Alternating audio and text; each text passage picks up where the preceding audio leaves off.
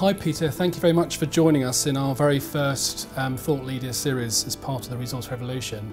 Pleasure. Where we're sort of setting the scene around the, um, the sort of shift that's taking place from a sort of a linear to circular economy.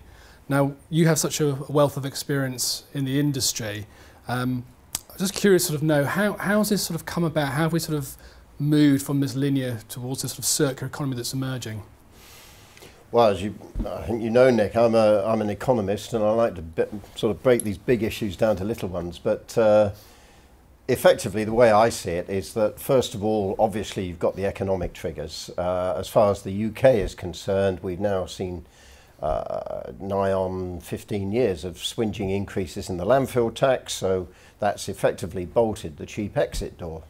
Uh, secondly, in terms of absolutely contemporaneous uh, events, or indeed going forward over the next year or so, if uh, Mervyn King's statements around print, running the printing presses, being a cynic, I think that governments always get out of debt problems by inflation. Uh, inflation in the UK means falling pound, so resources as imports are going to go up in cost. So that's right. going to act as a, an immediate sort of spur over the next few years, if indeed we can believe uh, that the Bank of England will actually carry forward that. Uh, more prosaically, of course, most people say it's about global population. Uh, it's incredible, really. I mean, I know I'm getting on a bit, but it's staggering to think that uh, there are now almost five times more people on the planet than there were when I was born uh, just after the Second World War. So uh, I don't think it's about population. For me, the big driver is the bourgeoisification, if you like, the middle classes right. in the BRIC countries, Brazil, India, China. Uh, those emergent middle classes are the ones with the big resource footprints. And uh, they are entering the consumer market at a rate of 300 million a year. Wow. That's the entire population of the original EU6 every year, year after year. So demand, if you like, put, put simply. And I guess there's, uh, there's also this issue of um, resource security. Uh, it's, it's about supply and demand uh, in terms of particular uh, heavy metals. Sure you're seeing this at the upper end of the spectrum, rare earth metals first, but gradually it'll extend right the way down to the lowly biomass. So a mixture of factors, but on a global scale, uh, then pretty fundamental. Well, we're sort of at the sort of very early stages of where we're sort of seeing the circular economy emerging because it's as you say, there's all these pressures that are taking place externally and, and um, also internally. What do you see as sort of being the impact on the waste industry? Uh, as your surveys have identified, there are it, it's, it's no sort of even picture. There's a, a very broad church out there.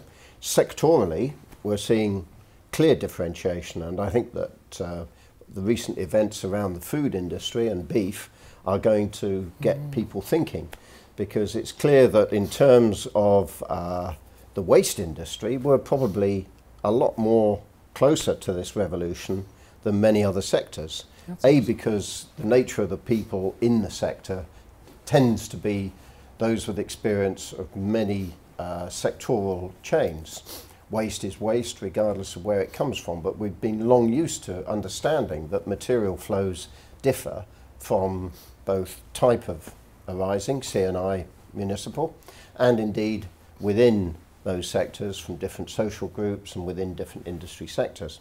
So uh, the waste industry is further down the road. I think there's a lot of tokenism being talked in sectoral supply chains, but uh, at the moment I'm not seeing a fast enough sort of integration between the leading FTSE 100s and or FTSE 250 companies that want to engage in this in food, electronics, electricals, uh, and the specialist services. The waste industry is still organised around disposal options right. rather than around product options. And I think that that's impeding this sort of clutch-like mechanism that we need to drive investment and partner, partnerships.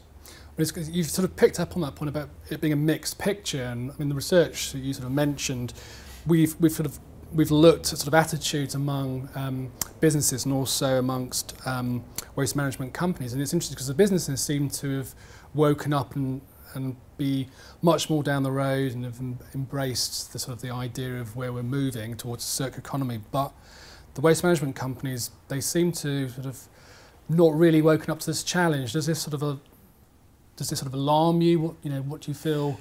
Well, the, yeah, a, there's a number of reasons for that. Of course, in insofar as this, in in the waste sector as we understand it, it's been manifested in uh, threats to the so-called big six, uh, who one would normally, in most industry sectors, expect to be the drivers. It's the big companies that will actually reinvest in the new uh, forward-thinking systems. In our industry, because the uh, barriers to entry are fairly low, what you've got is a plethora of smaller people that almost like little um, it would be wrong to describe them as piranhas, but effectively okay. uh, they're going to graze and feed in niche segments uh, because they're more nimble, they're more alert, or they often come from supply chains rather than the conventional waste sector. Uh, secondly, you've seen the entry of uh, very big companies from end market processors, particularly in packaging, of course, around cardboard, uh, to a lesser extent in plastics, which is fragmented, and glass. Uh, uh, and so the, the big companies have effectively been fighting a rearguard action. They found it very difficult to reinvest in these systems. I'm, from what I've seen of them, though, I think they're very alert to it. They're just looking for ways in which they can capitalise on that going forward. I mean, because you, you, you, touched earlier about sort of um, sort of traditional disposal and treatment routes, and there is this danger from what we've um, uncovered from research that we've done that end of life streams could start, start sorry, sidestepping these uh, traditional disposal routes. Um, what do you think the waste management companies need to do to, to make sure that they don't get left behind? If you just look at the back end processes, uh, my advice to them, and I have given it to a number of the uh, board level members of these companies, is, is, is fairly simple. And that's that as far as the technology is concerned, think about three simple precepts if you as an industry are, whether you're charging or being given uh, a fee, but uh, if you're being given gigajoules of material, then the first thing you have to do is make sure that whether that's recycling, composting, energy, heat, uh, transport fuels as an end product, make sure that if somebody gives you a million gigajoules of that so-called waste, that you can realize that uh, at levels of 60, 70, 80% realizable, saleable outputs. And if you do that, you'll be in a stronger commercial position than the guys down the road that generally at the moment are, are managing 20, 30, 40%.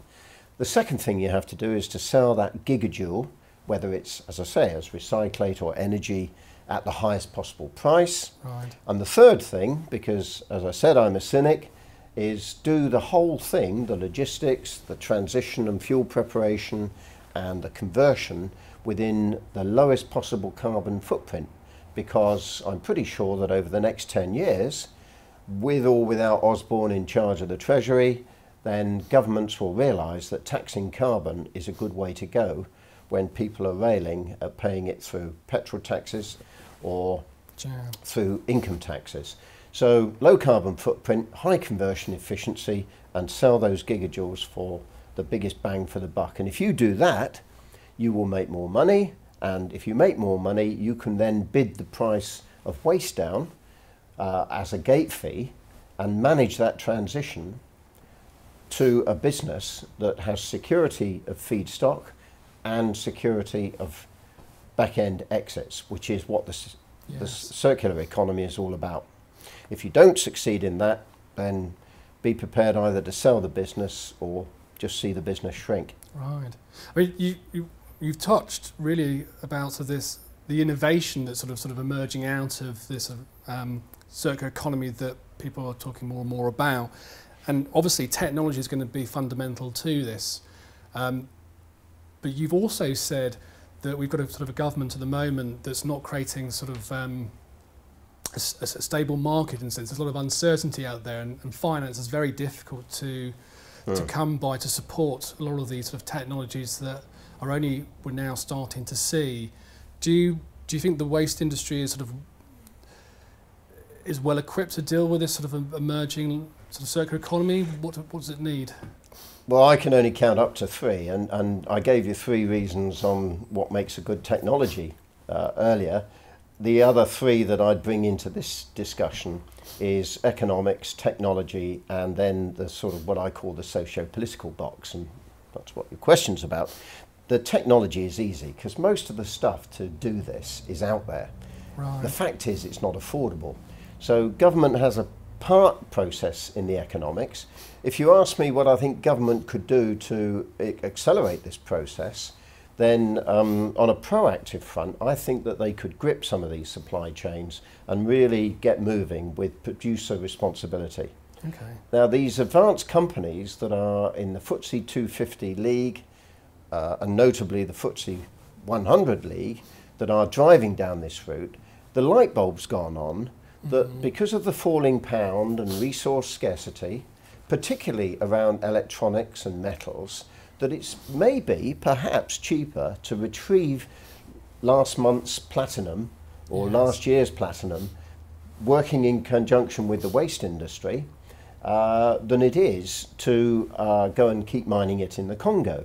And I think we're at the very start of that process, but cold-blooded economics are driving procurement managers or strategic thinkers in these companies to a realization that an efficient waste retrieval system in this country could actually be cheaper in the world of 2025 yes. when there are another 2 billion people out there all wanting to live like the inhabitants of Epsom or Esher or Bristol uh, suburbs. That's the first point. The second point is government's got to get a grip. We are not, in my book, effectively governed. There's no strategic thinking. Yes. The numpties in government, there are numpties there. They think that waste is solved because we've got all these incinerators coming along. Uh, they will actually sort the problem out. Uh, we indeed, as a sector, are talking about overcapacity. Well, fine. But I think that a lot of these uh, incineration plants now, if uh, they may or may not work. Intuitively, I don't think this solution is about large, consolidated, three, four, five hundred thousand ton processing options. It's an uncertain world. We're talking about sectoral foci.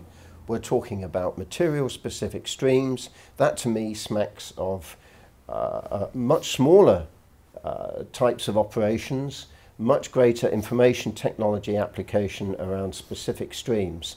And uh, some of the public money that's being put into these contracts is in danger of being utterly, utterly wasted. And that right. should be a risk for government. I know it's very difficult to predict, but considering the fact that we don't have a clear steer from government, where do you see the state of affairs, say, in five years' time in terms of how the circular economy has developed in this country? Well, it, it'll be be market economics. Uh, in the case of energy, then energy, once you start getting brownouts, once the uh, and indeed, it's reflected some of the work that I personally, of course, have got involved in, but I'm not here to talk about that at length. But uh, basically, that's why when, uh, I, uh, well, from about 2005, uh, I was involved in talking to the major energy users about the need for co-located plants. That's why I did the work for Advantage West Midlands and produced that report, suggesting that in fact, rather than just find places to put waste management facilities as part of the circular economy, you look at those places that uh, needed lots of recyclate mm. or lots of gas or heat or electricity and surveyed them as potential sites where you might co-locate the infrastructure to give them what they want to drive down their raw material feedstock.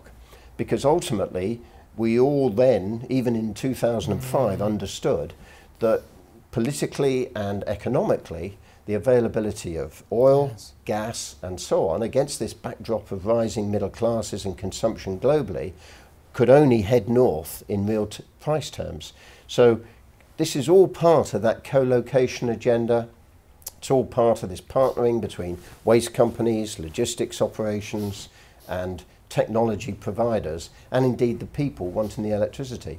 So in energy, brownouts and shortages for the half-hourly interruptibles running cold stores or RDCs, docks, airports that are threatened by the fact that we don't have enough kilowatts in the in uh, uh, juice in the network are the very places where I'd be starting. Okay. And in recycling, you've seen that with the way that the packet certain cardboard reprocessors are now integrating up the supply chain to take that cardboard away from the conventional waste companies. I think that's terrific. It's turbulence, it's market opportunity, change. Mm, you know, the monopolies and oligopolies are not good for anybody because no. they, they stifle thinking, they, sti- they, they basically restrain development. This is a fantastic area of opportunity and it's demonstrated by the large number of entrants that yeah. we're seeing coming into what used to be called the waste sector. Well, it's been fascinating speaking to you, Peter. Thank you very As much ever, for your time. A pleasure.